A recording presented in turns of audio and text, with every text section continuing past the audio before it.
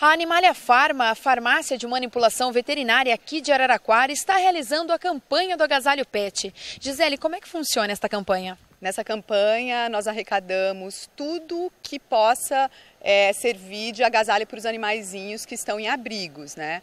É, então, lençóis, edredons, não precisa ser nada novo. Né? As pessoas, elas tem pessoas que compram né, coisas baratas e trazem, assim como aquelas que têm edredom que está rasgado, mesmo que seja um pedaço, trazem. Uh, roupinhas, alguns acessórios como comedouros, guias, uh, ração também.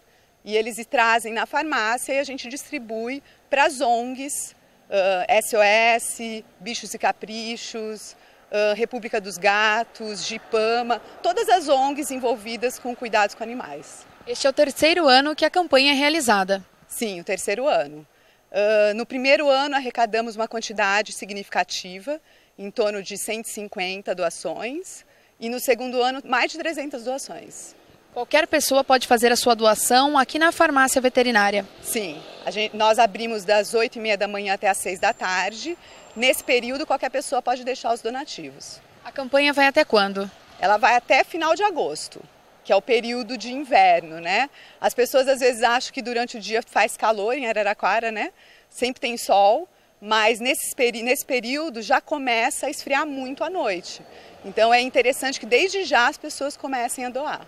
E a cada ano que passa, a campanha é cada vez mais um sucesso. É, a experiência que nós temos é essa.